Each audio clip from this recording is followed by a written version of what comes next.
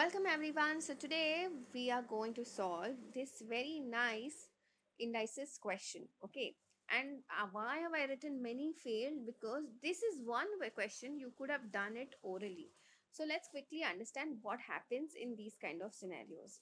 First is see how many 7 raised to x we have 7 raised to x plus 7 raised to x plus 7 raised to x plus 7 raised to x.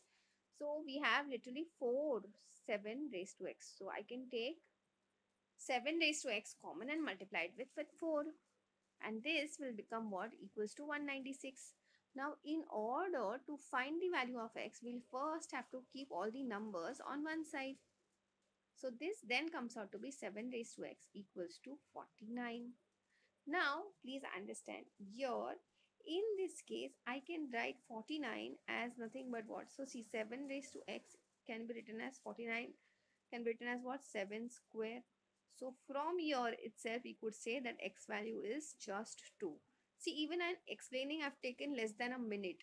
So this is one sum which many fail to do this orally. I hope this is very, very clear to everyone. That's it for today. I will see you in the next video.